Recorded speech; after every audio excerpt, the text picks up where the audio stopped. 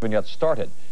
This is a parking garage beneath the Point Pleasant condo in Ocean County. The surf, driven by a savage wind, washed sand into the garage, burying a Corvette and other expensive cars in the parking garage in the basement.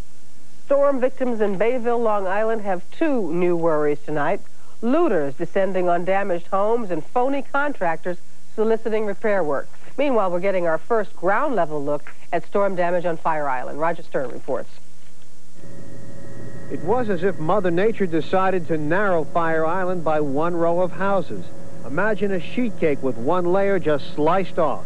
Well, that's what happened along parts of Fire Island's south shore, particularly in the area of Fair Harbor, where the ocean washed away dunes, destroying some houses, leaving many more exposed. Estimates vary, but anywhere from 20 to 35 houses are gone, most vacation homes, though at least one a full-time residence.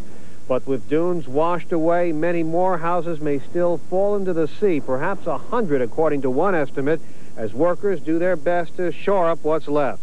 As a builder, can you save them? Uh, best we can do is try. You're dealing with Mother Nature, and we've always said in Fire Island, uh, you're building in the face of Mother Nature, and uh, at some point, you're going to have to accept those responsibilities. This is that point. The damage was pretty well confined to the ocean front. The owners of houses set back from the sea are the lucky ones. You must feel pretty lucky that this one's okay. Very lucky, and I never thought I'd witness that kind of devastation in my lifetime.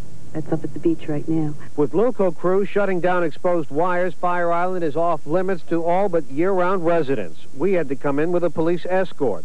Most property owners have yet to see the damage and we don't know when they will. For four days now, Suffolk County has not let these Fire Island ferry boats sail out, and we don't know when they will reopen the island to the public.